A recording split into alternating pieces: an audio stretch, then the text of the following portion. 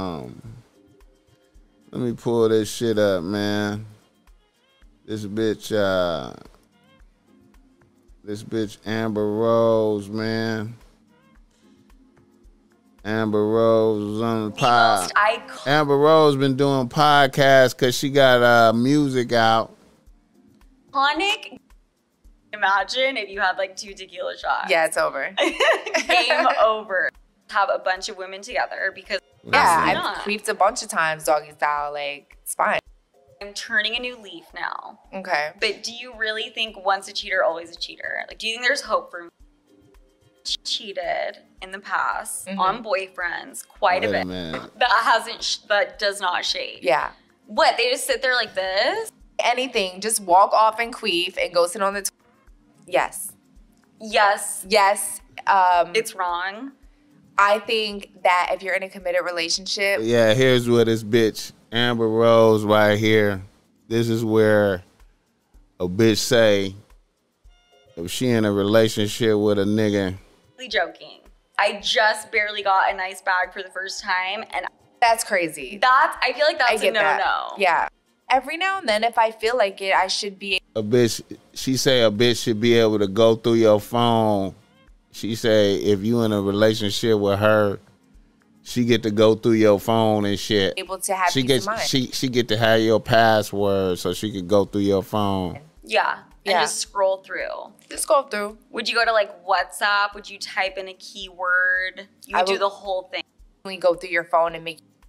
But also, maybe he has every fucking right because God knows I have the guy under mom in my phone. Right. Well, that's what I was gonna say. Like a lot of people are, you know, they learn from their mistakes and they're better, and the, the next time they cheat, so like it's under like bestie or mom or uncle so and so, you know, and so then you have to do the deep dive. Yeah, I'm not playing with my fucking life. If I ever get into a relationship again, which I highly doubt, like you're Mhm. not about to play with my life and my mental health. I don't got time. Yeah. Yeah, if you're not transparent and just open, like I understand privacy, I get that. Like I'm not gonna, you know, constantly go through your phone and make you feel like I, I don't trust you. Mm-hmm. But every now and then, if I feel like it, I should be able to have peace of mind. yeah. And Yeah. just scroll through. Just go through. This Would you go to like WhatsApp? Would you type in a keyword? This bitch I is do the whole this thing. bitch Oh, yeah. used to be a bad fucked for a bitch. She, just, she Yeah. done turned into an old sour I would go bitch.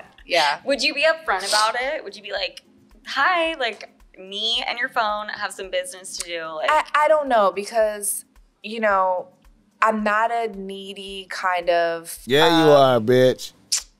annoying Yeah, you person. are, bitch. mhm, But I do have trust trust issues. right? And if I tell you about my trust issues, The and bitch you're just telling me that I contradicted have nothing to herself. worry about, then I should have nothing to worry about. Mhm. You should make that easy for me, Yeah, and I'll make it easy for you. It's all like, you know, yeah. I think a dude really should be offering that up. yeah, This is my password. You have my. These bitches is location. brazy. You know. yeah. I just think These bitches. I think I I mean that's the thing. I think that like people should really try to be friends first. Mm.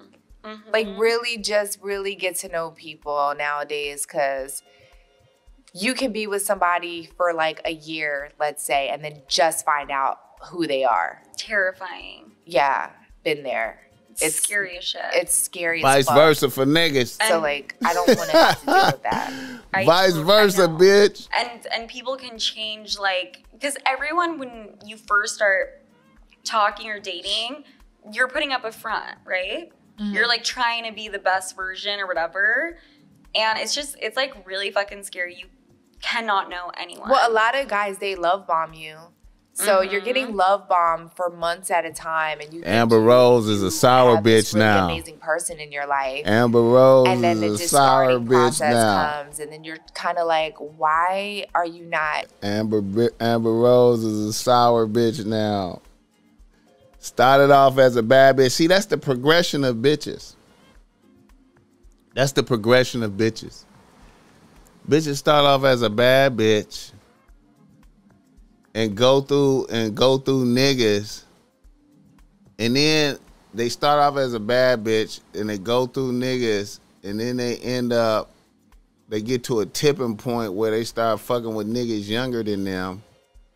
You feel me? And then them young, them niggas that's younger than them just do some suplex shit on a bitch. The niggas that's younger than them do some suplex shit on a bitch and turn a bitch into a sour, evil ass bitch. You know what I'm saying?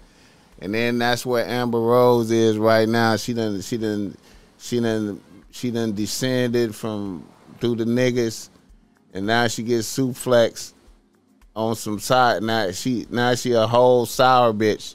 Don't want to fuck with no niggas no more. Shout out to Amber Rose though. Shout out to Rosecrans Bari, man. You know we over here late night streaming, man, doing some shit, man. We over here late night streaming and shit. You know how we be doing.